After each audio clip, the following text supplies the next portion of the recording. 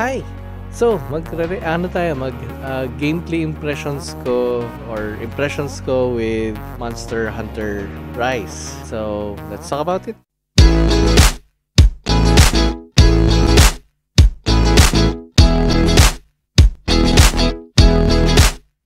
Hello, my name is Dwayne, this is Pinavy Gamer, so we'll be talking about Monster Hunter Rise. This is my gameplay impression, so this is not a review. So, I played Monster Hunter before. And uh, sa ko ba nalaro? Nalaro ko siya sa PSP. Uh, nalaro ko na rin yung A Bit of World. Yung ano sa Xbox Series X. Uh, tapos, and sa DS. Nagdaro rin ako sa DS. Pero, majority of my gameplay, parang I wasn't really happy with it in general.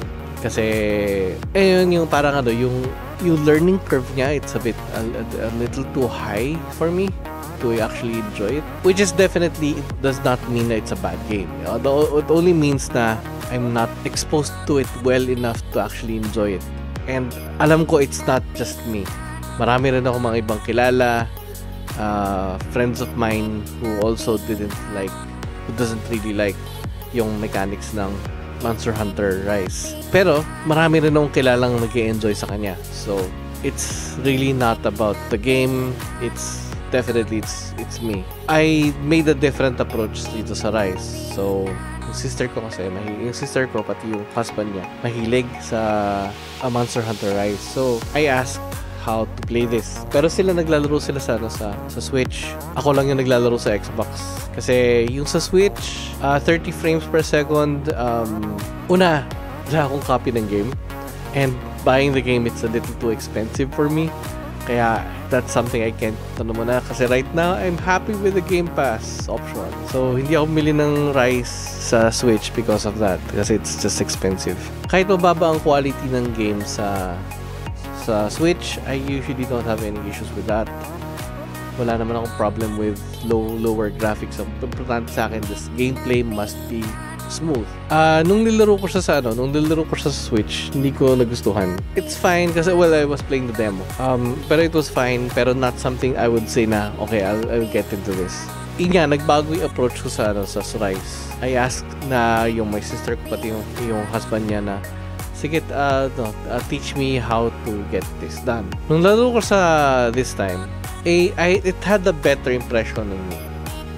I, I'm, I, I was kind of getting, I was kind of getting na enjoyment out of it already. Actually, torn ako in between playing this or Assassin's Creed Odyssey. So, patalon-talon yung paglalaro ko doon. Ang naging ano ko kasi, ang ano ko is yung medyo ano talaga, medyo overload sa information yung game. As in, ano, kasi ang dami mong kailangan intindihin eh. You, you really need to understand the weapons, you really need to understand how things work within the game. Tapos yun it really focuses on hunting. It's not an open world as other games that I like. Pag nag ka, once you enter a map, your map to to, it's not really big. Uh, you just pero it's ano, it's you still have to look for the enemies na kailangan mo pero at the same time may marker naman kung nasan yung enemy mo so it's kind of easier from what I understand it's it's it's a lot easier than world yung ano yung Monster Hunter World.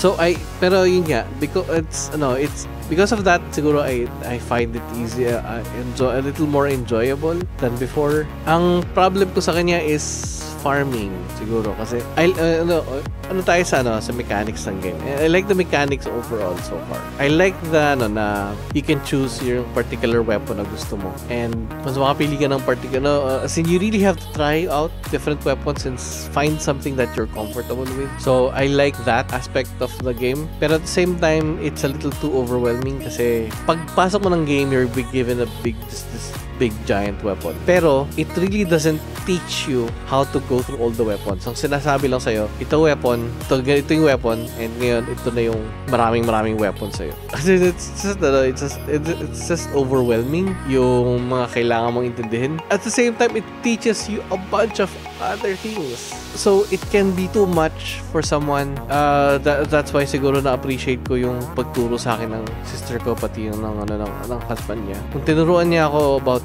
tinuruan nila ako about that yung mga iba-ibang aspects, I, I, I get to appreciate it more. Pero it's still, I still find it na mas maganda siya laruin with friends. And right now, it I have I have difficult time to find time to play with friends kasi it's my mostly because of my work schedule. Work schedule ko kasi sobrang alanganin. Pero eh, alanganin in the sense na ano ah, na uh, on mornings yun yung free time ko tapos evenings yun yung uh, work time ko habang ang work time yung friends ko it's completely opposite so it's a schedule issue thing so yun nga I, I'm not getting that proper experience because of that. And also, because of it, nalilimit yung mga items na nakukuha ko. And that also hinders yung experience ko. Uh, kasi sabihin, if I don't get the materials that I need for making stuff, hindi ko magagawa yung ano, yun nga, hindi ko magagawa yung armor, hindi ko magagawa yung weapons, hindi ko magagawa. So in a sense, my lack of being able to play with friends is really hindering me to enjoy the game. Kasi ang isang alternative alternative ko doon is just really playing on my own and farming heavily. As in, yung, yung heaviness sense na parang, okay, anong item ang kailangan ko? Anong pangalan ng item na kailangan ko to get this particular ingredient? Anong mission ko pala siya makukuha? Anong mission, so, yung buwan sa mga, anong mission na yon Anong creature yung kailangan ko patayin para mapatay, para makuha ko yung material na yon And how many times do I have to do this just to get all the materials that I have to get before I can make that particular item? So, the farming part is a little, it's a bit of too much for me at the moment. Okay, bago natin tuloy yung video, kung mahilig sa mga board games, check this video out.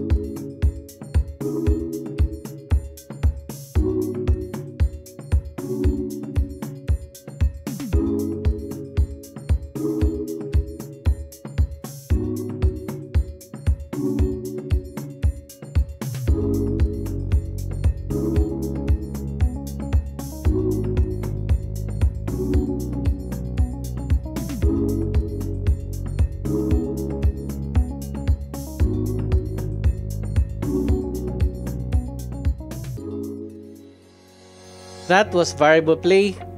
We are a group of content creators focused on tabletop games and some video games.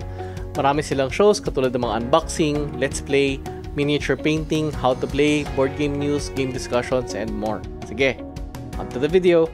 Uh, pero yun it's, it's an impression. I cannot say it as a review because it's just a little too much for me. Um, pero yun, you I'm not saying that it's a bad game.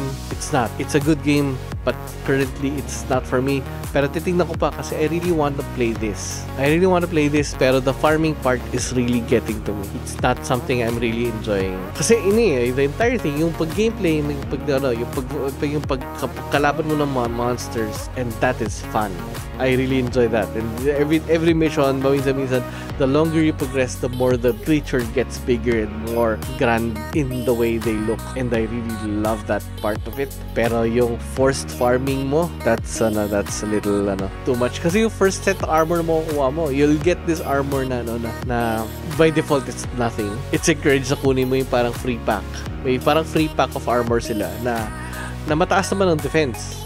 Ang problem na sa kanya, wala siyang ano, wala siyang enhancements. So talagang armor lang siya or parang ano lang, mataas lang defense niya. And if, if you try to upgrade any of the default armor, wala rin gagawin yun. Kasi ano lang talaga siya, uh, itsura lang. So you have to defeat bosses first to unlock yung mga iba pang armor. Pero it's also encouraged na dapat ulit-ulitin mo yun, not because of you want to. You're encouraged to, to do that over and over again para makuha mo lang yung mga materials as much as possible. So, ayun, if you don't like repeating stuff all the time, eh, this is candy, this is not gonna be for you. Kailangan talaga you must be prepared to farm a lot of times. Nasa point na ako na kalabanin ko yung parang, ano, I don't know, first boss ba? Um, I don't know if it's a first boss, pero it's one, it's one that kind of blocked my progress. Uh, right now, I don't know how to get through it without farming. Kasi I mean, I need to farm for materials. Not for not just the armor, but also some, ano, some ingredients that I need. Parang pang buff ng weapon, pang buff ng, ng armor, pang buff ng ano. Kasi may mga parang temporary buffs that I need to get. And I need to get ingredients of that. Kasi yung previous na laro ko, I've been using that without my upgraded armor. So, nangyayari, nauubos lang yung materials ako, so mamatay lang ako. It's, it's uh, nagkakaroon ng point na rather than I am enjoying, it's more frustrating. Pero definitely, yung pagturo ng sis ng, ano, ng sister ko pati yung asawa niya, that really, really helped me.